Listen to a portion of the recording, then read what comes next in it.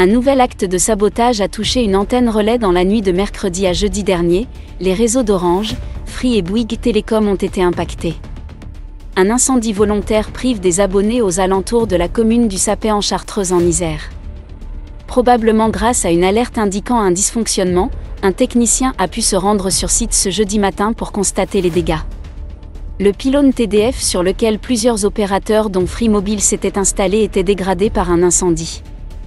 Heureusement, les gendarmes et les sapeurs-pompiers se sont rendus sur place pour éteindre les dernières fumerolles.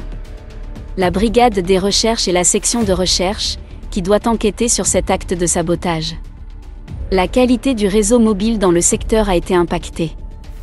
La région a déjà vu sévir des opposants à la 5G plusieurs fois. Les actes de sabotage sur les infrastructures télécom, tant fixes que mobiles, sont de plus en plus fréquentes. Depuis le déploiement de la 5G, on a pu observer une recrudescence d'attaques envers les antennes relais. Mais les armoires fibres et les câbles sont également ciblés.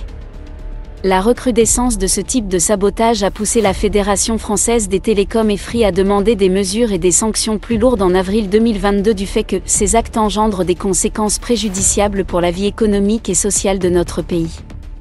Ils peuvent impacter des milliers de citoyens et d'entreprises qui ne peuvent plus utiliser le réseau Internet et de téléphonie fixe la multiplication des actes de vandalisme sur les réseaux, avec de lourdes conséquences potentielles notamment sur l'acheminement des communications d'urgence, et une gêne préjudiciable aux abonnés, dans leur vie au quotidien, appelle une réponse publique adaptée.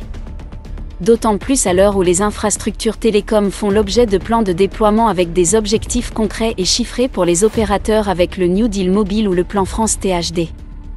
Réparer ces infrastructures nécessite des moyens humains et cela entraîne de faire un ralentissement du déploiement.